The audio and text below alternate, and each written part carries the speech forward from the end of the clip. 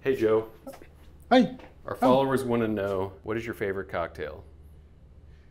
Uh, my favorite cocktail, why don't I just show you? Let me get some ingredients. Follow me.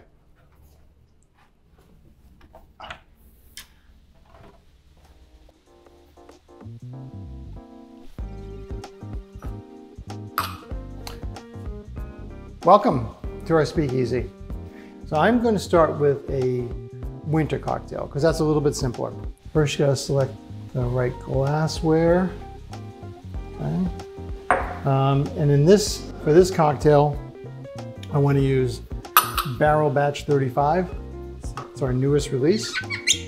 Pour a healthy two ounces. Done.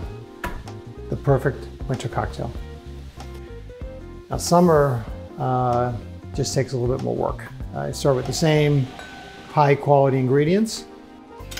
And here's the most critical ingredient.